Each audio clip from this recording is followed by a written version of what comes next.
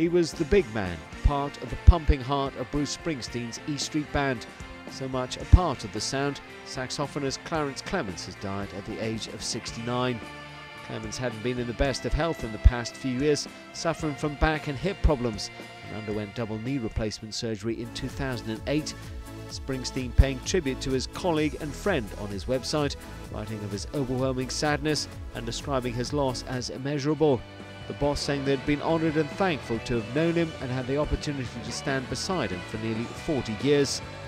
He first met up with Springsteen in 1971, joining the backing group that came to be known as the E Street Band.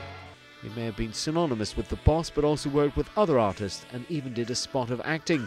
Most recently seen providing some backing for Lady Gaga on her latest album, playing on and appearing in the video for Edge of Glory.